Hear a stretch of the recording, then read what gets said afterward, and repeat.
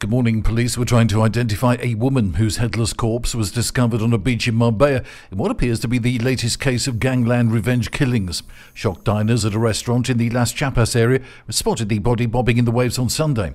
The macabre discovery was the latest case in which headless bodies have been found in Spain, as police believe the criminals used this brutal method to settle scores between rival gangs.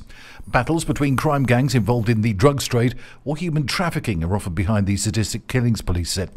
By removing a murder victim's head and hands, criminals try to stop the police discovering the identity of the person because officers cannot trace dental records or fingerprints. Officers must take samples of DNA and check missing persons reports to discover the identity of the victim. At least two people died in a fire yesterday afternoon in a flat in Fuengirola. The emergency services received several calls at around 1.25 pm to report the blaze. Witnesses reported a long plume of smoke coming from the balcony of the fifth floor of an apartment block. Several vehicles from the local fire brigade, the local police, the Guardia Civil and ambulances attended the scene. At least two have died. There is also one person in a critical condition, another seriously injured and another with minor injuries according to sources. Residents were evacuated from the building whilst the firefighting operation continued as flames approached higher apartments.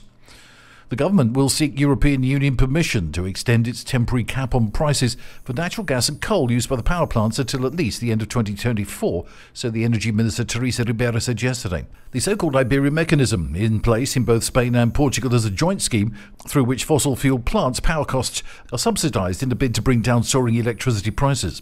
The system is currently set to expire on May the 31st. Ribera said the EU's power grid needs to be reformed to reduce price volatility and make electricity cheaper. Electricity prices in Spain have fallen steadily since they peaked in August, partly due to the higher wind energy production. And since tests began back in November, January the 16th is now the day that the Dénia Castelligorgos Gos Benidorm section of Line 9 of the Tram de Alacant will be open to the public. In total, the regional government has invested more than 150 million euros in modernisation work on the line, which has also been financed with contributions from European funds.